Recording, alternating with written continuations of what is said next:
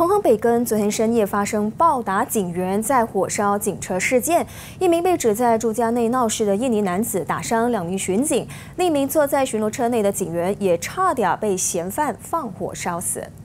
北根警区主任莫尔莫在迪指出，当地一个干绑的木头仓库看守人员昨晚十一点报警，指一名三十多岁的印尼籍看守人员在屋内闹事。警方派出三名警员到场了解情况，没想到嫌犯直接暴打其中两名警员，随后放火烧毁巡逻警车。所幸在车上的警员及时逃出车外，才没有被烧死。但是整辆警车已经完全烧毁。警方目前正在全面搜捕逃离现场的嫌犯。